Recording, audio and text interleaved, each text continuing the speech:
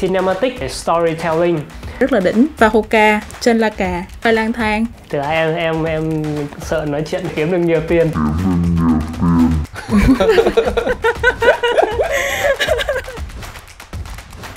du lịch á, thì hẳn là sở thích của rất là nhiều người rồi. Và những clip du lịch á, thì thường là nguồn cảm hứng để những đôi chân mê xê dịch á, sẽ quyết định đến với lại một cái vùng đất nào đó. Người yêu thích du lịch nhiều như vậy á, thì mình nghĩ rằng là lượng người thích làm clip du lịch á, cũng nhiều không kém.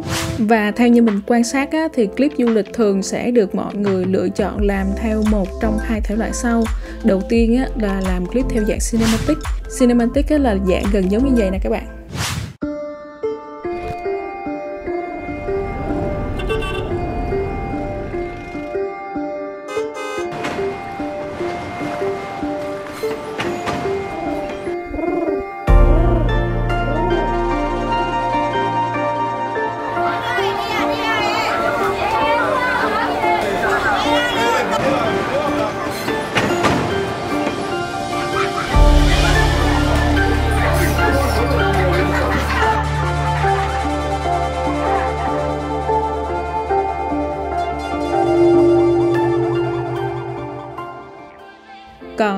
Loại thứ hai mọi người thường làm á, là vlog du lịch thì dạng giống như vậy nè. Ờ, hôm nay mình thuê lắm các bạn. Thuê xe máy xong là bị à, cảnh sát Thái thổi liền. Trời ơi chết tôi rồi. Sao? Chi mị lên đầu rồi. Bạn chim đó đó. Mình biết chính xác luôn là bạn chim đó đó. Tặng cho mình một vải ở trên đầu. Trời ơi là nó hên ghê luôn á. Chào mừng các bạn đến với Chiang Mai, thành phố hên nhất của Thái Lan. Bạn có biết một sự thật rằng Chiang Mai từng là kinh đô của một vương quốc cực kỳ hiền lành và văn minh chỉ mới biến mất cách đây 2.000, à nhập 200 năm không? Rồi, lượt qua. Nhưng mà dù là làm theo thể loại nào đi chăng nữa ừ, để làm ra được một cái clip hay hấp dẫn và mang lại nhiều giá trị cho người xem thì không phải là ai làm cũng được. Vì vậy là hôm nay mình sẽ trò chuyện cùng một bạn có thể gọi là master một bạn filmmaker. À, bạn chia sẻ rất là nhiều tip kinh nghiệm à, về chụp ảnh quay phim trên những cái nền tảng trang cá nhân của mình. Và hôm nay mình sẽ cùng trò chuyện cùng Minh Travel nha. Xin chào tất cả mọi người. Kênh của mình thì thường mình hay giới thiệu với mọi người một cách thân thiện đó là Hey yo, what's up? Mình là Minh Travel. Và thì em giới thiệu sơ qua một chút về bản thân em. Thì Hồi đầu em lập kênh tên là Minh Travel ấy bởi vì em là một người rất là đam mê du lịch và em thích làm ra những cái thước phim du lịch hy vọng là từ những thước phim du lịch đó thì mình có thể quay lại được những cái cảnh đẹp của Việt Nam, bởi vì là em thấy Việt Nam có rất là nhiều cảnh đẹp. Và đồng thời em cũng là một người thích đi, thế nên là, kiểu, vừa được đi chơi lại vừa là quay lại những cảnh đẹp. Mà khi mà làm travel vlogger thì em thấy là người ta bảo là làm là sau cũng kiếm được rất là nhiều tiền. Hồi đó thì, hồi mà em mới làm thì nổi lên nhất đó là anh khoai lang thang thì thấy cũng rất là ngưỡng mộ. Cũng hy vọng là sau này mình làm được một kênh travel và có thể kiếm được nhiều tiền từ đó. Và từ đó thì em đặt tên kênh đó là Minh Travel. Tuy nhiên thì thời điểm mà em bắt bắt đầu làm ấy thì lại là cái thời điểm mà dịch bùng lên và nói chung là mình cũng không thể nào làm tất cả mọi thứ theo cái mong đợi, theo cái ý muốn của mình được. Thế nên là em kết hợp làm một số cái hướng dẫn cái kênh chính của em thì hiện tại nội dung chính thì nó lại đang là về chia sẻ các mẹo quay phim này, làm sao để mọi người, ví dụ đi travel, quay phim được đẹp hơn. Đó thì là nội dung chính về kênh youtube của em. Còn ở kênh tiktok thì em có phát triển một cái content cũng gọi là tương đối viral ở trên nền tảng là quay phim người lạ thì có thể là mọi người đã nghe qua cái nội dung này rồi. Thì khi mà em làm cái quay phim người lạ này thì em cảm giác là có vẻ là mình phát triển nhanh hơn cả làm travel luôn. Về du lịch á, thì thường theo như chị quan sát á, thì là có hai cái thể loại chính mà mọi người thường hay lựa chọn. Một á, là làm theo hướng là clip cinematic. Hai á, là làm theo à, thể loại vlog. Thì uh, theo em á, thì uh, clip cinematic á, thì sẽ phục vụ cho việc gì? Và vlog thì sẽ phục vụ cho việc gì? Và nếu như mà gọi là để uh, tiếp cận khán giả thì cái thể loại clip nào thì nó hiệu quả hơn?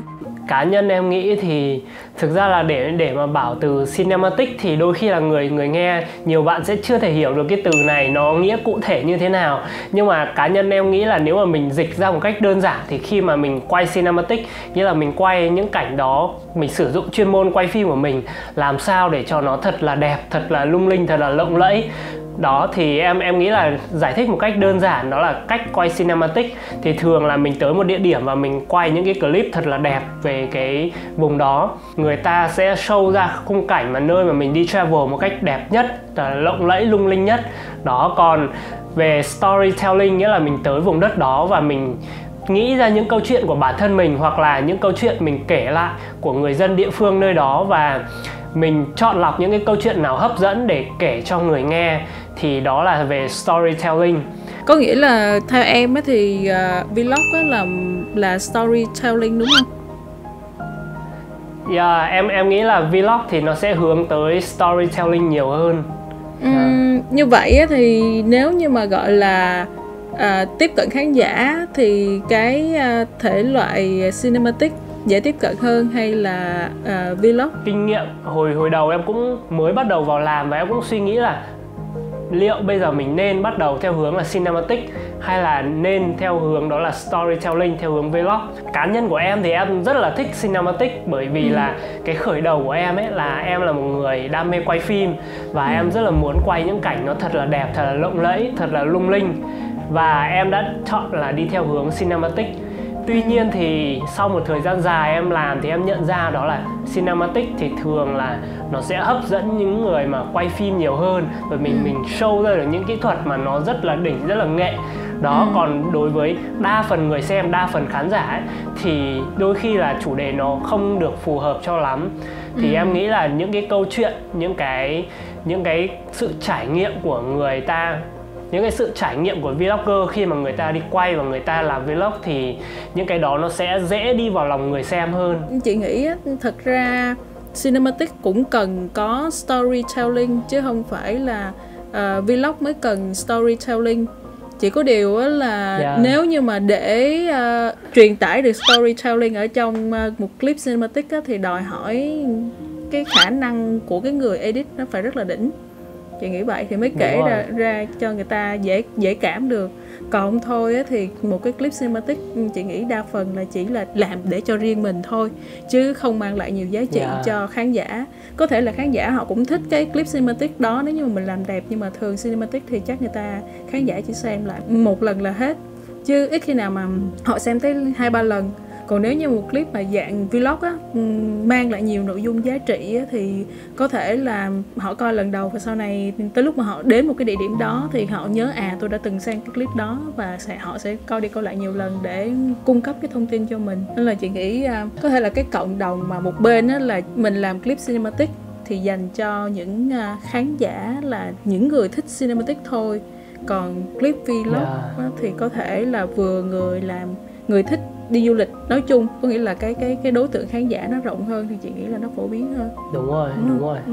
hồi đầu chị cũng bị là thích làm clip cinematic nếu mà ai coi kênh của chị thì hồi đầu cũng thấy là chị làm clip toàn cinematic không mà nhưng mà sau này tới một thời gian mình nhận ra rằng đó là nếu mà mình làm vậy thì chỉ là đang làm cho mình thôi chứ không có nghĩ cho khán giả yeah. nhiều. Và tới lúc mà mình đổi cách kể chuyện thì khán giả tiếp cận tốt hơn à, chị thấy ờ, ở trên yeah. kênh dạ. em cũng vậy đúng không khi mà mình mình chia sẻ nhiều hơn thì khán giả đến với mình nhiều hơn mà không thôi thì mình có thể là nhìn những gương đàn anh đi trước chẳng hạn ví dụ như là cọp đen travel nè hay là tùng phạm nè thì là những bạn cũng làm rất là nhiều về uh, du lịch nhưng mà uh, cuối cùng thì những cái clip mà viral hay là uh, khán giả biết tới mọi người nhiều là ở uh, cách các bạn đã chia sẻ nội dung cách cách các bạn chỉ những cái tip những cái hướng dẫn nhiều hơn là là những clip về du lịch.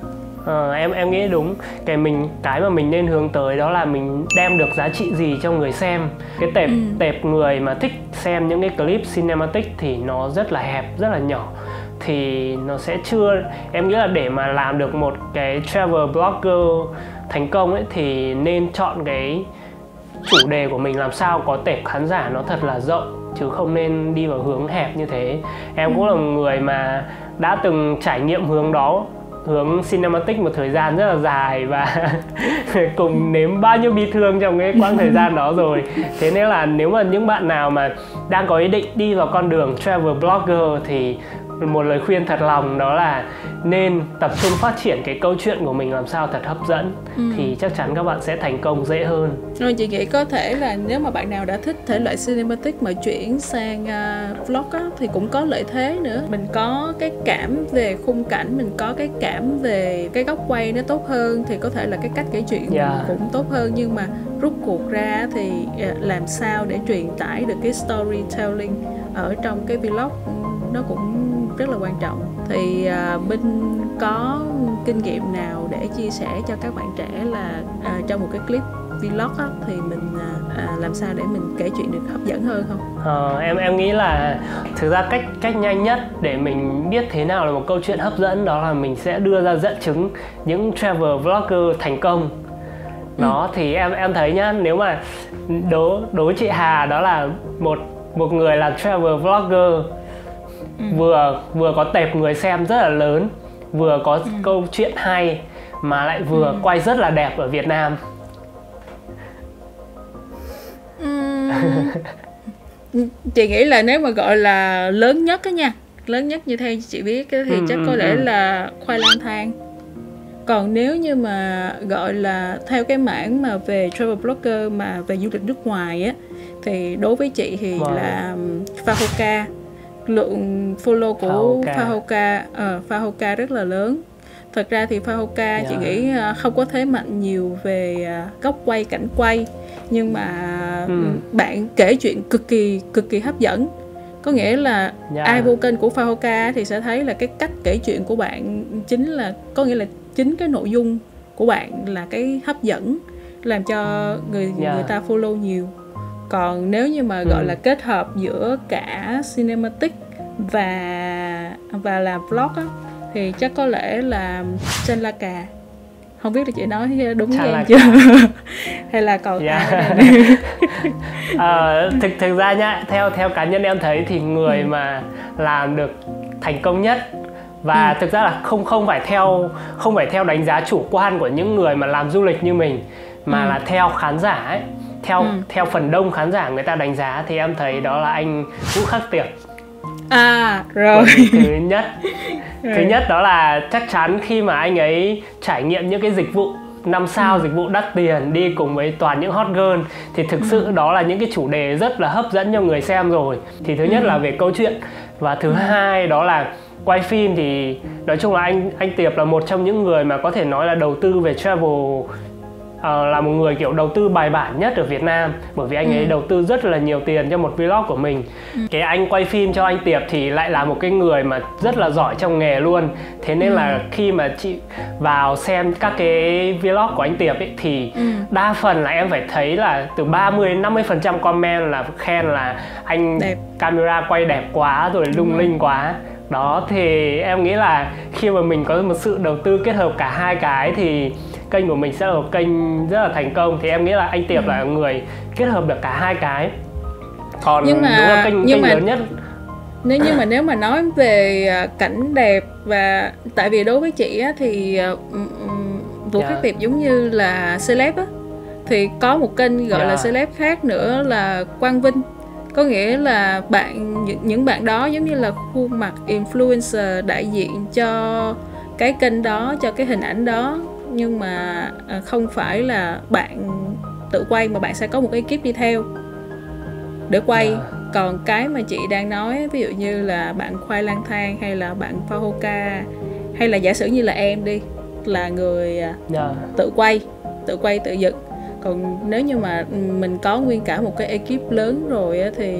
à, khỏi bàn lúc đó mình chỉ là sao mình tập trung với nội dung của mình thôi còn cái chuyện hình ảnh yeah. thì để để người khác lo đúng không? À, thực thực ra thì em em em có em có được gặp anh Chan Laka và em cũng nói chuyện thì gần như là bây giờ ví dụ như anh anh Khoai hay là anh Chan thì đều có những bạn mà phụ quay đi kèm rồi à. khi mà kênh người ta lớn thì người ta đều nâng cấp lên ekip rồi bởi vì ừ. khi mà một mình mình làm ấy thì công việc nó sẽ rất là vất vả mình phải làm tất cả mọi ừ. thứ và đúng là ví dụ như kênh của anh Chan Laka là một kênh anh ấy cũng kết hợp được cái sự cinematic và uh, cái sự kể chuyện đó ừ. thì nó cũng sẽ phải đòi hỏi nếu mà anh ấy muốn xuất hiện trên khung hình của mình thì kiểu gì là anh ấy cũng sẽ phải có một bạn quay hỗ trợ đi ừ. kèm ừ. đó ừ. mặc dù là đa phần là video đều là anh ấy edit hết ừ.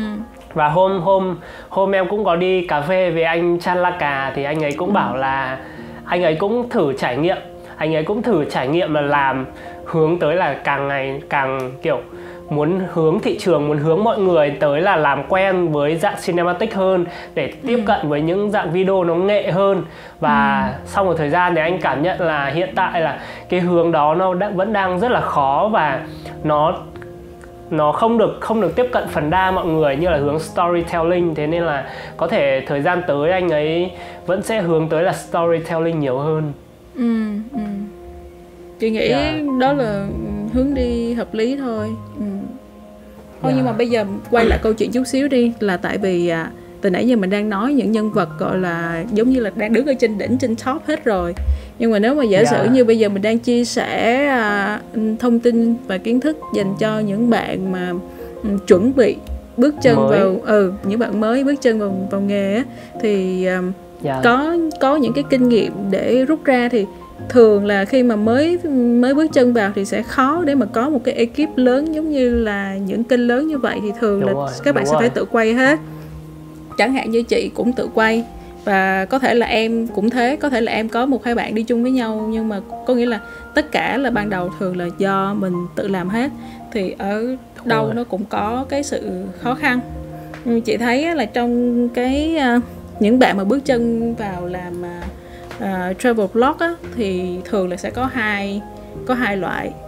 Một á, là những bạn là đã có nền tảng trong ngành marketing rồi. Có nghĩa là bạn có thể là bên agency hay là bạn làm trong ngành marketing thì bạn hiểu vận hành hoặc là bạn biết cách ừ, làm content và biết là nội dung nào á, thì sẽ hấp dẫn được khán giả. Thì bạn sẽ tập trung vào cái nội dung đó.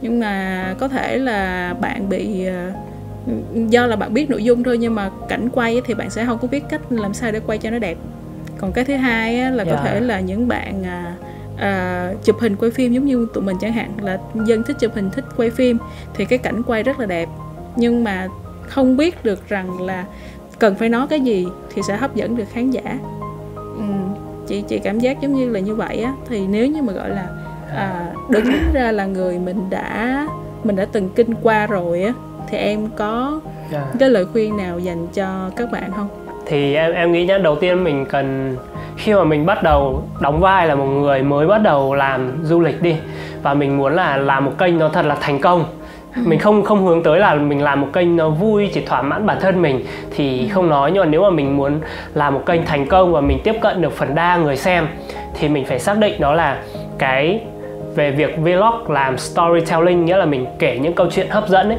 nó sẽ chiếm từ 80 đến 90 phần trăm và ừ. cái cảnh đẹp nó sẽ chỉ chiếm từ 10 đến 20 phần trăm thôi để ừ. đầu tiên mình phải xác định cái đó ra để mình tập trung mình dồn nguồn lực vào cái nào nhiều hơn thì em nghĩ là cái việc mà để mà các bạn quay đẹp được ấy thì chúng ta cứ trau dồi. Bởi vì là nó không không phải là nói một cái mình có thể thay đổi được ngay mà nó chưa quan trọng nhất. Thế nên là mọi người cứ lên YouTube mình học các cái mẹo về quay phim ấy hoặc là ừ. mọi người có thể tham khảo kênh của Minh Travel. Ừ, đúng rồi. thì kênh em cũng chia sẻ rất là nhiều mẹo. thì mỗi mỗi ngày mọi người chỉ cần vào kênh và mọi người xem 1 đến 2 vlog và mọi người tích lũy cho mình những cái kinh nghiệm riêng là dần dần là mọi người sẽ dần dần mình tự nâng cái trình quay đẹp của mình lên. Miễn là mọi người phải duy trì cái công việc làm vlog của mọi người được thật là lâu dài thì sớm hay muộn kiểu gì mọi người cũng sẽ quay đẹp hơn thôi. Đó. Ừ. thì cái thứ hai đó là mình hướng tới cái quan trọng nhất là làm sao để mình có thể kể được một câu chuyện hay kể ừ. câu chuyện mà nó hấp dẫn được rất là nhiều người. Đầu tiên là mình phải xác định là cái ưu điểm của mình là gì đã giả ừ. sử nếu mà bạn là một người mà nói chuyện rất là có duyên này giọng ừ. nói của bạn ngọt ngào dễ nghe giống như anh khoai lang thang ấy ừ. thì thực sự là cái việc thành công của bạn nó sẽ rất là dễ bởi vì một số người bạn của mình nói là có thể xem các vlog của anh khoai lang thang cả tối đến khi đi ngủ luôn bởi vì là giọng của anh ấy nói rất là dễ nghe rất là vào tai ừ. đôi đôi khi là chỉ cần bật để nghe giọng nói của anh ấy thôi ừ. đó thì nếu mà bạn là một người có giọng nói thì bạn hãy làm những cái vlog chia sẻ nó làm sao thật là gần gũi với khán giả giống như kênh của anh khoai lang thang.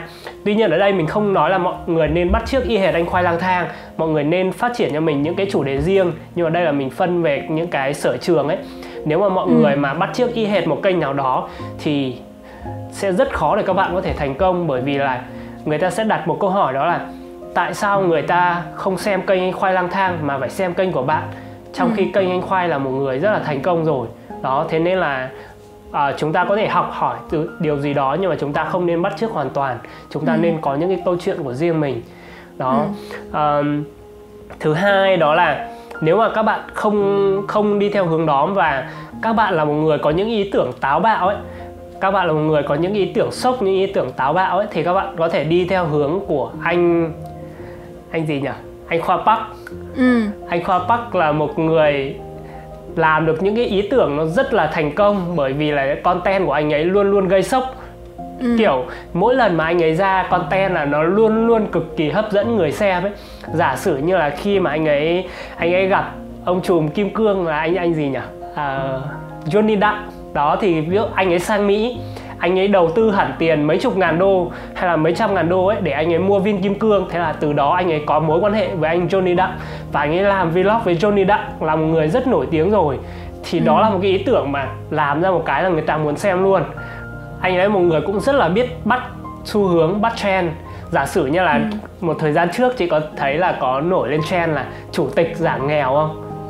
Ừ đúng rồi có đó thì ví dụ khi mà cái trend chủ tịch giả nghèo ấy thì anh ấy thực sự anh khoa bắc mình không không biết cụ thể như thế nào nhưng mà có vẻ anh ấy cũng là một người rất là giàu và anh ấy làm ừ. hẳn một cái ý tưởng cũng rất là sốc mà anh ấy bắt theo trend đó là anh ấy cũng giả nghèo anh ấy mặc một cái quần đùi đi dép tông nhưng mà xách theo tay một bịch tiền để đi mua mua con xe mẹt 2 tỷ để anh ấy đi du lịch khắp Việt Nam thì ừ. đó là những cái ý tưởng rất là sốc nếu mà bạn có thể tạo ra được những ý tưởng rất là sốc đấy thì nó cũng là một content rất là thành công ừ. có thể anh Khoa Park cụ thể là một trường hợp anh ấy không mọi người thấy là rất ít clip của anh Khoa Park quay đẹp luôn đa phần là anh ấy chỉ quay một góc vlog và nói thôi nhưng ừ. mà nó thể hiện cho sự là câu chuyện nó thành công còn à, trường hợp của anh Fahoka là một trường hợp cụ thể đó là khi mà người Việt của chúng ta thì xưa nay là uh, có một cái truyền thống gắn kết về Trung Quốc rất là thích xem phim trưởng rồi và anh Faoka thì anh ấy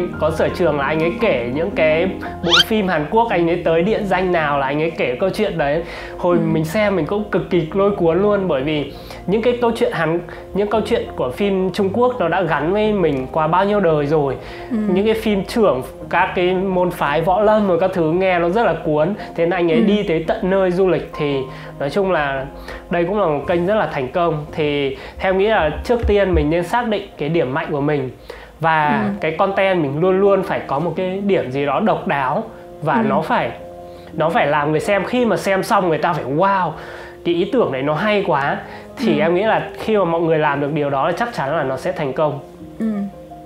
Vậy tóm lại là à. cứ à, một là hoàn thiện kỹ năng chụp hình quay phim từ từ bạn cứ phải uh, yeah. Dạ. làm clip nhiều đi và bắt đầu là mình sẽ tìm thấy uh, uh, những cái uh, lỗ hổng nào đó hoặc là mình thấy chưa hoàn thiện chỗ nào thì mình cứ học từ từ nhưng mà cái điều quan trọng Đúng nữa rồi. là mình sẽ cần phải tạo nội dung làm sao cho thật hấp dẫn. Có thể là bắt trend nè hoặc là tạo ra một cái nội dung nào đó mà để cho khán giả à, sẽ phải nhớ tới mình.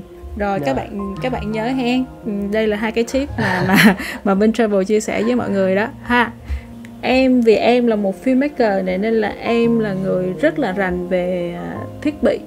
Mà chị thấy à, có rất là nhiều câu hỏi của những bạn chuẩn bị à, bắt tay vào làm travel blogger thì à, thường sẽ đặt câu hỏi yeah. Dạ. là không biết là sẽ nên mua thiết bị gì nếu như bây giờ mình muốn làm à, ừ. blog du lịch đi tất nhiên là tùy theo ngân sách của từng người nữa nhưng mà nếu mà gọi là một cái set cơ bản nhất đi thì bạn nên đầu tư gì thực ra là em em có thể cho mọi người ra một vài mức ngân sách nhé thì theo cá nhân của em thì em có thể uh, chia sẻ với mọi người ừ. một vài mức để cho mọi người có thể dễ lựa chọn đi ừ. chứ nếu mà mình đưa một mức cụ thể tài chính thì đôi khi là mọi người lại không phù hợp với cá nhân mọi người mọi người lại bị cố quá hay là mọi người có nhiều tiền ừ. quá mà lại mình lại đưa một cái mức thấp ấy thì ừ.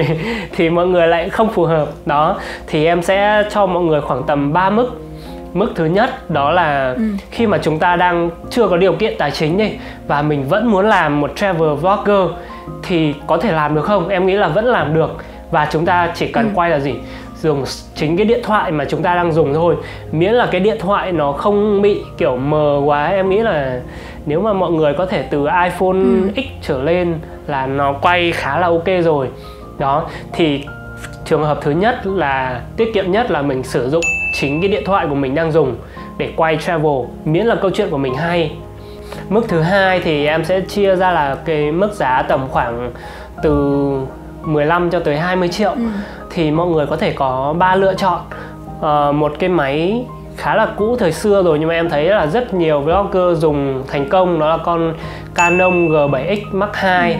hoặc là mọi người có thể mua Sony ZV1 đó thì hai cái máy đó nó lợi thế là nó có màn hình lật thì mọi người có thể cầm tay và mọi người vlog rất là dễ ừ. và mọi người có thể zoom ra zoom vào từ trong máy luôn nó rất là dễ ừ. tuy nhiên thì để mà để mà quay nghệ quay đẹp được thì nó sẽ khó hơn các máy khác ừ. thì nếu mà mọi người hướng thiên hướng là hướng tới là mình muốn nhìn mặt của mình cho dễ để mình tự nói tự vlog thì mọi người có thể chọn hai con ừ. đó còn nếu mà mọi người muốn là đi theo hướng là mọi người vẫn thích học quay đẹp một chút quay nghệ một chút quay xóa phông một ừ. chút thì mọi người có thể mua chiếc Sony A6300 ừ. là một cái chiếc máy ảnh mà em nghĩ là nó giá tiền rẻ nhất mà nó đem lại hiệu quả ừ. nhiều nhất trên thị trường và có lẽ em sẽ làm một cái vlog là người mới học quay phim thì nên mua máy gì okay. thì em sẽ giới thiệu con okay. máy này bởi vì nó là con máy em nghĩ là rất là rất là thành công và đôi em có nghe một cái tin đồn ấy là đôi khi Sony người ta chịu thiệt người ta chịu thiệt để tung ra con máy này ừ. bởi vì nó con máy rất là bá đạo ừ. nhưng mà nhờ con máy này mà nó kéo tên tuổi của hãng lên rất là ừ. nhiều đó thì con chiếc 6003 sẽ là một cái lựa chọn nếu mà mọi người muốn học quay đẹp ừ. bởi vì nó sẽ có rất là nhiều thông số giúp mọi người có thể luyện trình của mình để trở thành một người quay phim rất là đẹp được. Ừ, ừ. Đó. Chị uh, mong chờ chị thì... mong chờ clip này của em lắm nha tại vì bản thân chị cũng đang là người xài dạ. A6003 nên sẽ rất là mong chờ những cái tip của em để cải thiện những cái shot quay của chị cho nó được ok hơn đẹp hơn. Và nếu mà nếu mà mọi người mà giả sử là mọi người có điều kiện ừ. hơn một chút đi ừ. thì mọi người có thể lên thẳng một chiếc máy quay ừ. à, vừa có màn hình lật mà vừa quay rất là đẹp ừ. cụ thể đó là chiếc Sony A7C ừ. Sony Đúng A7C rồi. thì nó sẽ ngang với chiếc Sony A7 Mark III thì giá nó sẽ tầm khoảng tầm 40 triệu gì đó. Ừ. Hiện tại mình đang dùng chiếc Sony A7 Mark III thì chiếc Sony A7C nó cũng là một chiếc mà hiện tại là nó khá là mới thế nên là những cái màu mà khi mà mình vừa quay ra ấy thì nó sẽ cũng sẽ rất là đẹp luôn. Ừ. Nó sẽ đẹp hơn con A73. Con A73 thực ra là nếu mà mình biết làm màu thì mình nó có thể ngang nhau. Ừ. Nhưng mà em nghĩ là nếu mà làm vlogger thì có thể mua Sony A7C. Ừ đó còn nếu mà nhiều tiền hơn nữa nhiều tiền hơn nữa có tầm khoảng 80 triệu thì mọi người có thể mua A7S3 à. thì nói chung là không không cần phải ừ. nói rồi bởi vì à, cái công nghệ màu sắc của A7S3 nó rất là đẹp luôn hồi xưa hồi xưa người ta hay nói đó là cái màu của Canon ừ. ấy thì mình phải biết chỉnh màu một tí ừ. nếu không thì màu da của mình quay ra nó sẽ không được trắng hồng không được đẹp như là của Canon ừ Tuy nhiên thì nếu mà mọi người mà lên được đời của A7S3 thì công nghệ màu sắc của nó thay đổi hoàn toàn rồi thế nên là đôi khi được so sánh thì nó còn quay đẹp hơn cả Canon nữa. Ừ. Đấy thì nói chung là nếu mà mình có tiền thì mình vẫn có rất là nhiều ưu thế. Nhưng mà nếu mà mọi người có kinh phí vừa phải thì mọi người cũng phải lựa chọn làm sao cho nó vừa với túi tiền của mình ừ. nhất chứ không nhất thiết mình phải mua máy xịn. Và sau đó thì mọi người à, cần trau dồi thêm kỹ năng của mình thôi chị chị yeah. Dạ. thấy á, ngoài thiết bị ờ, quay á, thì ờ, đối với lại làm vlog du lịch á, thì uh, âm thanh nó cũng rất là quan trọng tại bởi vì không không chỉ hình yeah, dạ, ảnh không xác. mà nhiều khi mình vlog mình nói tại chỗ mà cái âm thanh nó không có được tốt á, thì cái clip nó cũng gần giống như là thất bại vậy đó bài học xương máu của chị là ngày xưa chị yeah, đúng rồi. chị chính xác chính chị xác dồn hết tiền cho máy quay nhưng mà tới lúc đó là hết rồi thì không còn tiền để mà mua mua micro đó thì lúc đó nó nó không còn cũng phải Dạ, mà mình dạ, bị sót tiền mình không mua nhưng mà sau những chuyến đi về mình thấy trời fail quá trời fail đáng lẽ ra phải phải phải đầu tư cho micro thì à, em có thể là tư vấn cho những người mới thì à, ví dụ như là đó cũng là ngân sách nếu mà hạn hẹp thì nên xài micro nào mà nếu mà có có có ngân sách tốt hơn thì xài micro nào được không? Dạ. Như như mà em đã chia sẻ ở đầu Ừ. ấy thì đôi khi việc quay đẹp nó không quan trọng lắm. Nhưng mà cái việc mà các bạn mà có một âm thanh tệ ấy, thì chắc chắn là video của các bạn sẽ thất bại luôn. Thế nên là cái việc nhất thiết mọi người cần phải làm được đó là cái âm thanh của chúng ta thật là trong, thật là rõ tiếng. Mình không cần phải là âm thanh nó quá hay, quá đỉnh gì cả đâu. Nhưng mà ít nhất là nó phải trong, phải rõ tiếng. Người ta nghe, người ta phải cảm thấy thoải mái đã. Nó không bị quá nhiều tiếng ồn. Đó, thì cái này là một cái yêu cầu bắt buộc khi mà mọi người làm, mọi người cần phải biết. Thì giả sử trường hợp thứ nhất nhá Mình sẽ chia sẻ cho mọi người một mẹo. Giả sử như mọi người đang lâm vào tình trạng của chị Hà đi Là vừa mua máy ảnh xong, hết tiền mua mic Thì bây giờ mình phải làm sao? Đó, thì thực ra là cái cái mẹo này nó quan trọng đầu tiên luôn. Thậm chí là khi mà mọi người có mic rồi mọi người vẫn phải tuân thủ. Đó là hãy tới những nơi yên tĩnh để quay. Ừ. tránh những cái nơi quá đông đúc quá ồn ào bởi vì là đôi khi mọi người dù có mic rồi nhưng mà mọi người tới nơi ồn ào ấy thì mic của mọi người cũng không thể nào mà hỗ trợ được quá nhiều không thể nào xử lý được quá nhiều đâu. Thế nên là giả sử ví dụ mọi người quay ở ven đường chẳng hạn thì hãy cố gắng là tấp tấp sát vào trong lề sát vào ở trong một con ngõ nào đó để mọi người nói. Ừ. thì nó sẽ tránh được tiếng ồn rất là nhiều. Tip đó hoặc là giả sử là mọi người tới một nơi nào đó đông đúc thì mọi người có thể giới thiệu về nơi đó ở trước giả sử mọi người vào chợ chẳng hạn thì mọi người có thể những cái phần nói nhiều mọi người có thể giới thiệu ở ngoài chợ nơi mà thưa người và sau đó mọi người vào và mọi người quay cụ thể. Đó thì đây là một cái mẹo. Hoặc là ví dụ nói chung là chúng ta à, nói chung là tổng kết lại thì mọi người nên tránh những cái nơi quá ồn ào Ừ. và hãy cố gắng là đến những cái nơi mà càng yên tĩnh càng tránh tạp âm càng tránh tạp âm thì càng tốt. Ừ. đó đây là mẹo đầu tiên thứ hai đó là về mua thiết bị. Thì em nghĩ là có một vài lựa chọn. Giả sử như là những bạn mà à, dùng điện thoại chẳng hạn giống như em iPhone thì một cái một cái thiết bị rất là tiện luôn. Đó chính là chiếc AirPods mà hiện tại em đang dùng. Ừ. đó. Thì cái AirPods này nó là mọi người đừng đừng xem thường bởi vì nó là một cái thiết bị thu cực kỳ bá đạo luôn. Chúng ta vừa sử dụng AirPods chúng ta vừa nghe nói được này mà chúng ta vừa có thể là thu âm nó thực cực kỳ tốt. Bởi vì cái quy luật để mà chúng ta thu âm tốt đó là micro nó càng gần miệng của chúng ta Ừ. thì nó càng lọc được tạp âm tốt và tiếng nó sẽ càng trong. Thì cái AirPods này nó đặt ở vị trí này là nó cực kỳ tốt rồi nó gần như là một cái mic chuyên nghiệp luôn đấy thế nên mọi người nếu mà quay điện thoại có thể sử dụng AirPods đó hoặc là mọi người không dùng AirPods thì có thể sử dụng một số loại mic không dây nhưng mà cái này mình cũng chưa chưa cụ thể trải nghiệm. Thì mọi người có thể lên Google ghi là mic không dây cho điện thoại Ừ. của kênh anh làm phim nghiệp dư của anh Cường. Ừ, đó. Đây là lựa chọn đầu tiên nhé còn lựa chọn thứ hai mà mình đang sử dụng luôn Ừ. đó là mình sử dụng một chiếc cho những bạn mà quay bằng máy ảnh ấy thì mình có sử dụng một chiếc đó là Rode Wireless. Đó thì cái bộ này bây giờ nó nó có ra bản 1 và bản 2 thì hiện tại mình đang dùng bản 1 là một đầu thu và một đầu nhận. Nhưng mà giả sử sau này mọi người mà muốn có hai người nói chuyện song song cùng lúc ấy thì mọi người nên mua cái bản mới thì giá nó sẽ dao động tầm khoảng từ 5 tới 7 triệu gì đó tùy vào mọi người mua thiết bị đi kèm. Ừ. đó thì đấy là một cái mà thiết bị mà mình khuyên là mọi người nên mua. Còn một cái nữa là mic shotgun ấy là những cái mà gắn trực tiếp vào máy ảnh này. Đấy và mình cầm máy ảnh rồi mình nói luôn thì nó sẽ đỡ đỡ phải sạc pin như mic không dây. Tuy nhiên thì khi mà mình chỉ cần đi xa cái mic shotgun ấy thì mình nói sẽ rất là khó. Thì cá nhân của mình nghĩ là mọi người vẫn nên dùng mic không dây nó sẽ tiện hơn. Ví dụ như anh Vũ Khắc Tiệp là anh ấy cũng đang sử dụng cái mic mà mình sử dụng này thì cái mic shotgun thì mình nghĩ là nó sẽ phù hợp với những người làm phim nhiều hơn làm phim mà theo thể loại cinematic Ok. gì đấy mà cần thu lại cái âm thanh hiện trường chẳng hạn như là tại vì cái hướng cái Đúng hướng rồi. shotgun nó ví dụ như lúc nào nó cũng đưa về hướng ở phía trước của máy ảnh hết thì lúc mà mình quay nhiều khi đi vô chợ chẳng hạn thì nó sẽ thu rõ cái âm thanh chỗ đó hơn chị nghĩ là nếu như mà Ok. làm theo hướng mà vlog thì sẽ cần một cái mic nào đó mà gần ở cái cổ mình nhất là là ok nhất còn nó có thể Dạ. là cái iPod hay là nó là một cái micro cài áo hay bất kể cái nào cũng được đúng không? thì ban đầu quan trọng chỉ cần là Dạ, là, là âm rồi. thanh nó rõ trước còn nếu mà mình có ờ, kinh phí tốt hơn thì mình sẽ đầu tư cho cái thiết bị đó nó nó ok hơn thì cái âm thanh mình ấm trong rõ hơn ừ.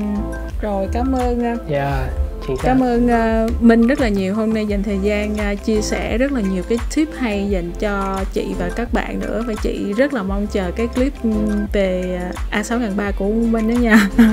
à, bạn nào mà muốn uh, học nhiều hơn những cái tip hay về mẹo sử dụng máy ảnh hay là làm sao để quay chụp đẹp á thì có thể follow kênh uh, uh, YouTube Minh Travel hoặc là TikTok Minh Travel luôn nha. Đảm bảo luôn là sẽ học được rất là nhiều tip hay ở đây. Cảm ơn Minh là đã dành thời gian ngày hôm nay để chia sẻ đến mọi người nha. yeah thank you mọi người. Bye bye